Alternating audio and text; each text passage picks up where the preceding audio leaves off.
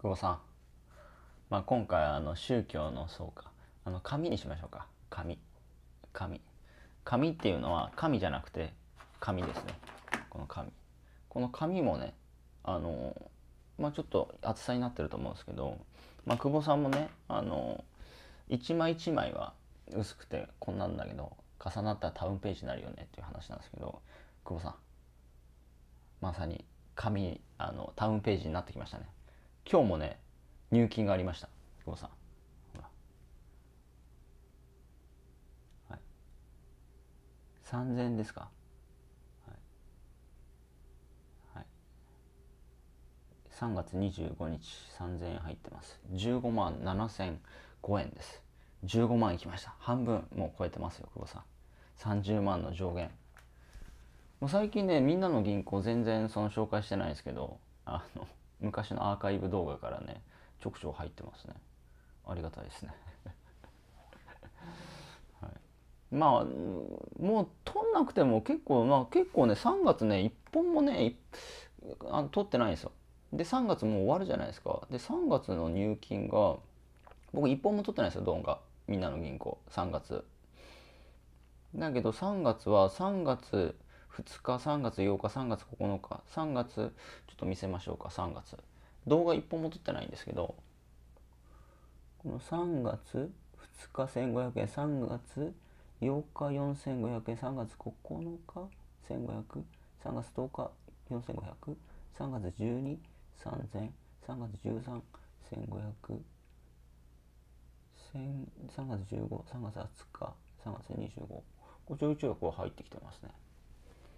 ありがたい。ありがたい。僕の過去の動画が勝手に働いてくれてますありがたいですね。多分ね、3月ね、一本も僕、あの、動画、みんなの銀行を撮ってない、アップしてないですよね。あの、プロモーションしてたんで。うん。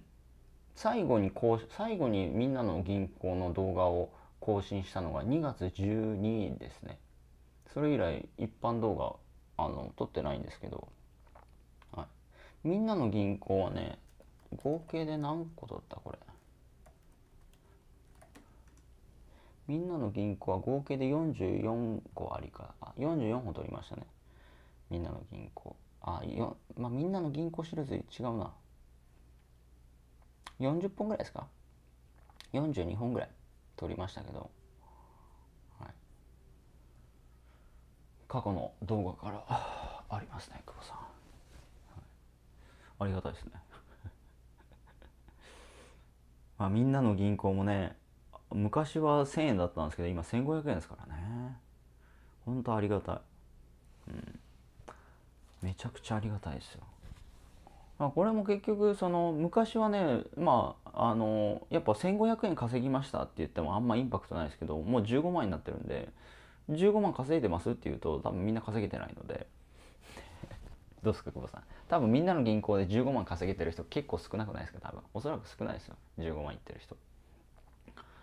でそれを言うとね「え何ですかそれ」みたいになるでしょうね。じゃあこれ20万超えてきたら20万まず手取りねこの前商品熟成さんの商品販売しましたけどもともと郵便局で手取り12万だったんで手取り12万超えてますね。そう。で堀江さんが手取り14万の動画バズりましたけど14万超えましたね。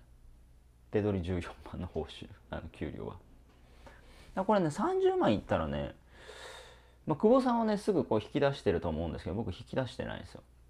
それはもう見えるようにねいくら貯まったのかって見えるように引き出してないですね。うん、であと最近ねみんなの銀行でその1万円コンビニの ATM から入れると100円もらえるみたいなね。要はお金を普通今これ貯蓄その紹介報酬っていうのは貯蓄っていうところに入ってくるんですけど、まあ、貯蓄からドロップして普通口座にこうドロップしたらまあお金引き出せるんですよねだから貯蓄口座っていうのはまあ一応引き出せないですよね。でもみんなの銀行ドロップするだけでは別に、まあ、すぐできるんであれなんですけどそのちょ普通の普通の方に1万円入れるとね100円もらえますみたいなキャンペーンやってて入れましたねでなおかつなんかキャンペーンで5000円以上入れてると3月終わるまでに5000円以上あると普通の方に5000円以上あるとなんかあのこれは抽選ですけどもマックス5000円とか1000円振り込みますみたいなのがあって一応1万円入れときました。1万円入れといて当たったらねこれ5000円マックス5000円かな？1000円か当たったら、まあ、100円は必ずなんかでもこれ10万人先着順だったかな。うん。まあ、一応入れて10万人に入れば入ってれば100円もらえますねただで。こう銀行でねまあこうたかが100円と思うかもしれないですけど銀行に預けてて利子100円もらったことあります？すいません僕久保さんの金貯蓄残高だったら100円あるのかな？100円の利子って結構きつないですか？通普通預金してて普通の銀行で100円の利子もらうのも結構大変だと思うんですよね。うん。そう。だからまあすごいことなんですよこれ。だってお金入れるだけで100円だから利子みたいなもんじゃないですか。だからなんだ利子的に言ったら利子で換算したらいくらなんですかね。5000多分ね5000以上だったような気がするんですけど5000に対しての100円の利子って何パーになるんだろうな。ちょっとそこ計算弱いんであれですけど。まあまあ今銀行の金利利子って0.00.0002だったかな。ぐらいじゃないですか。0.002まあ今みんなの銀行は0.02なのかな。ちょっと高いんですけど。うん。でもねみんな100円だからやんないんですよね。でも利子100円って考えて倍率考えたら多分マジでってなると思うんですけどね。でもその100円という考え方100円という考え方だったらなんか魅力感じないけどもえそのその金額に対して利子何倍ですってなったらどうですか？これはもう同じ現象なんだけど物の見え方が変わるとじゃあ入れようかなってなるかもしれないですよね。うん。これなんだっけなキャンペーンうん。総額1000万円あの山分けっていうこれですね。対象のうち先着10名様に現金100円プレゼント。で、えー、37名に1万円700名に5000円。期間中にセブン銀行 ATM からみんなの銀行の普通預金口座に一度1000円以上ご入金いただいた方対象者ね。で期間中にセブン銀行 ATM かみんなの銀行普通口座に一度5000以上入金いただいた方のうち3月31日の時点で5000以上ある方と、うん、この機会にセブンイレブンの ATM を利用してみましょうと。いうところで。うん。僕1万入れたんでね。このもしかしたら5000円入るかもしれない。1万円で5000円のりももし入ってきたら5100円入ってきたらこれ両方入ってくるのかな？じゃあ1万円で5000円入ってきたら利子いくらですか？やばいですね倍率。利子の。うん、まあみんなやんないですね。やんないですね久保さんね。たかが1500円とかねたかが1000円とか100円とか言うからね。だとこれ入れるだけじゃないですか。誰でもできますよね。どうですか？別に。いや吉谷さんセブンイレブンって何ですかっていう人いないじゃないですか。えセブンイレブンに ATM があるんですか？吉谷さんすごい。え銀行に行かなくてもセブンイレブンの ATM でそんなことができるんですかって。なわけないじゃないですか。さすがにみんなおろしてるでしょコンビニとかで使ってるし。だからやっぱ結局考え方捉え方なんですよね。うん。ここれもできないんですよね。うん、そうこの前ねその PayPay 運用僕してまして。でその3月に昨日か昨日から PayPay が一部、PayPay の運用が一部有料化になったんですよ。で有料化になる前にチャート見てたらちょっとねウクライナがウクライナの情勢が入ってから一気にちょっと下がったんですよ。で今ちょっと上がったんですよ。で上がってたんでちょっとあの十何万入れたんですね PayPay に、うん、ボーナス運用でそしたら1日で2 3 0 0円儲かってですぐ抜いたんですけど、あのただ十何万あのしかもその十何万もボーナスで普及された十何万なんですけどその 十何万ピッて入れて1日ぐらいで2 3 0 0円儲かりましたね。結構ね PayPay のチャート分かりやすいですね。あれずっと僕結構見てるんですけどうん。なんかあのなんかまあもちろんそのタイミングによってガンってなる時あるんだけどもまあその5年スパンと3年スパンと3ヶ月スパン 1, 1ヶ月スパンで全部グラフ見れるのでそのグラフ見て動向見てどういう今動きなのかなって大体見てやればまあまあで短期でねパッ取っていくっていう1日か2日で取っていくっていうのはいいと思いますねチャート見て。だけどこれ運用資金、まあ、僕は十何万あったんでまああれでしたけど、まあ、少ないとねまあ数百円になるかもしれないですけど。まあいいっすね。だからちょっと PayPay はね貯めて50万ぐらいで運用したいなっていう。まあこれからも買い物して、まあ、ボーナス運用ですね。もうボーナス運用でさ回して抜いて抜いてっていうのをやっていこうかなと思ってます、ね、うん。多分50万あったらねまあまあ多分ラーメン代とか普通に余裕で取れると思うんで。マジちょっと余裕で取れますよ多分。だからランチランチ代とかもう本当にピッてやってピッていけるっていう。まあその相場次第ですけどね。チャート次第ですけど。だからそれもなんだろうな。生き抜くためにね。お金必要ですからね。で PayPay に関しては僕仮想通貨やんないですけど PayPay は本当に飯屋で使えるんで、うん、吉僕が僕が好きな吉牛でも使えるしもうほとんど使えるんで。PayPay 運用はねまあ飯代稼ぐのにちょっとの飯代稼ぐのにすげえいいと思いますよ。うん。だ FX より簡単だと思いますね。間違いなく。いや間違いなく FX より PayPay ボーナス運用の方が簡単だと思います。間違いなく。うん。だ僕もこれ去年の6月ぐらいからちょっといじり始めたんですけど。でもそんなにじゃあ勉強したのかっていうと勉強してないし、うん、ただグラフを見るっていうね。グラフを見て実際にその入れて入れる勇気ですよね。久保さんも FX やるときぶち込む勇気みたいな話してますけど。まあ勇気はちょっと必要ですね。だから額が大きくなるとやっぱ変動するとすぐまあこの前数千円取れましたけどでも逆に言うと下行くとすぐ数千円マイナスになるので額が大きいとね、うん、まあお金は稼ぎましょう。必要ですから本当に。だからあの僕が行くマッサージ屋さんリラクルとか他のマッサージ店も今あのなんだあのペイペイほとんど入ってるんでだからね運用額が560万まあまあ多分100万ぐらいまでいけると思うんですけどまあそれぐらいのボリュームだったら多分そのマッサージ代も余裕で稼げると思うんですね、まあ、余裕というかまあ絶対ではないですけどね。そしたらもうただじゃないですかマッサージも。マッサージ代ってバカにならないんで。うん。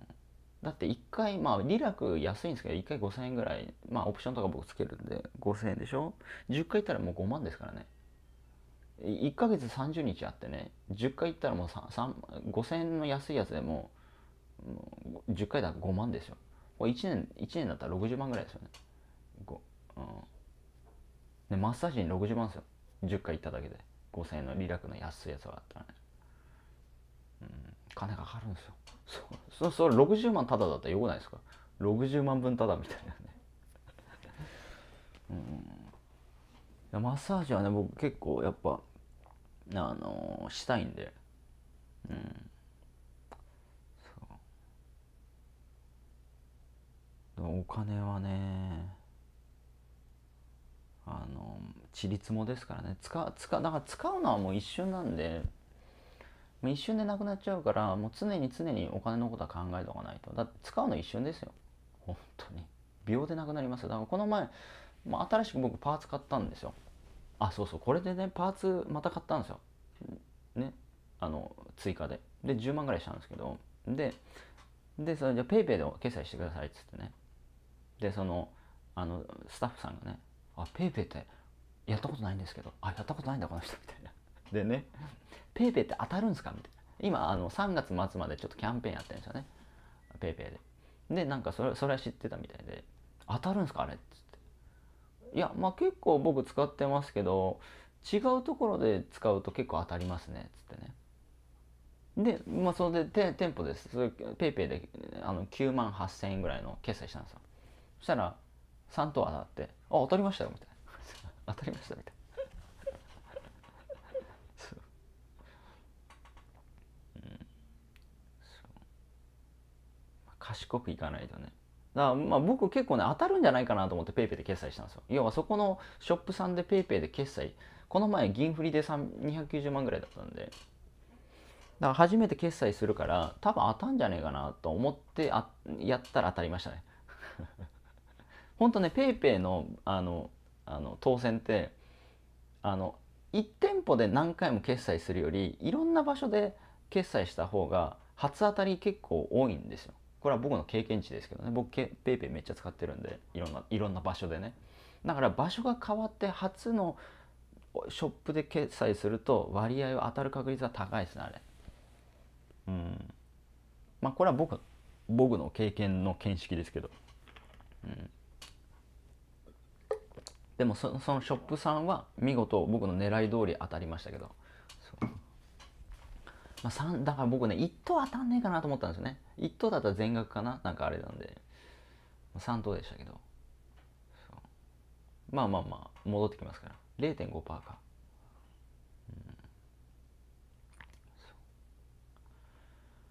うん、いやいいっすね。ありがたいっす。今だからなんかね賢く生きれますよね。昔こんなのだって昔なんか現金しかなかったんですよ。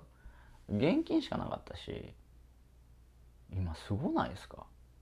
本当ね勉強した方がいいしなんかいろいろとなんだろうなお金のことに関してはもう本当に常に考えた方がいいですよ。本当に。てか賢く生きた方がいいと思いますね。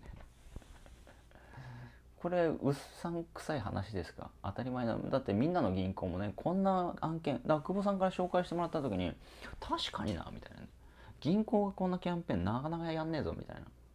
すごいいい案件ですよねみんなの銀行に関しては。しかもそのね会社も一応上場してるじゃないですか福岡ファイナンシャルグループって。で銀行がもちろんその倒産するっていうのも足利銀行だったかな。なんか栃木のなんか銀行が倒産したっていうのもあ昔過去に事例はありますけどまあ、そうやってもまあまあ潰れないですよ。まあまあ。確率的に言ったらね。確率的に言ったら銀行が潰れる確率多分ゼロではないけど低いと思いますね。うん。そう。だからビジネス的に言うならば確率は非常に高い方だと僕は思いますけどね。銀行のそのなんかその新しい仮想通貨でねどこ出どころよく分かんないけどこうとかに比べるならばその確率からするならばまあもちろんその当たり額はね仮想通貨に比べると当たり額はもちろん少ないんだけどもそのエビデンスというかなんだろうな実績というか証拠というかそこに関しては確率は非常に安心はそこに比べると安心はできるベットしやすいんじゃないかなと思いますしそもそもみんなの銀行を紹介しても何のリスクもないじゃないですか。そもそも。しかもお互いにメリットしかないじゃないですか。紹介した人も入ってくるし紹介コード入れた人も金入るしどこにデメリットがあるんですかみたいな話で。うん。で一応ね銀行をやるっていうのは金融庁国の認可が必要ですからある一定の審査は必ず通ってるし。うん。みんなやんないですね、うん、はい。ちょ飯食ってきます。では。